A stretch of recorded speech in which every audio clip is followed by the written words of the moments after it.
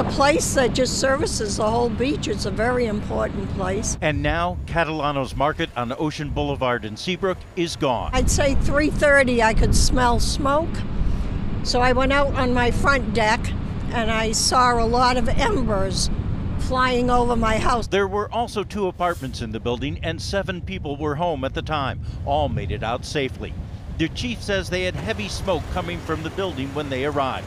That smoke forced Teresa Kyle from her home. But we had to get out of the house anyway because it's filled. You couldn't breathe in there. We tried to make entry, but we just uh, couldn't get in there and make a good initial attack on the inside. The fire would eventually go to three alarms, bringing in firefighters from neighboring Massachusetts.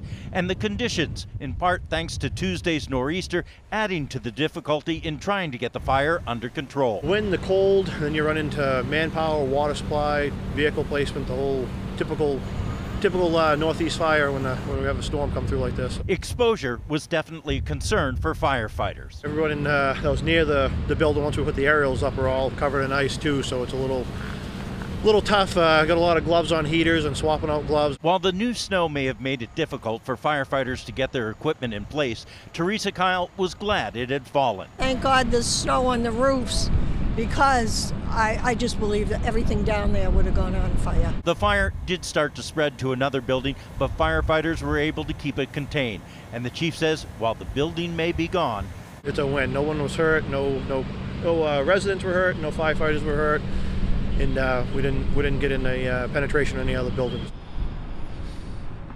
The chief says that one of the residents told him that she could see fire in her apartment, but he says it's too soon to say if that's where it started. As for those seven residents, they were put up at a local motel this morning, but everything they had in their apartments is gone. Reporting live in Seabrook, Ray Brewer, WMUR News 9.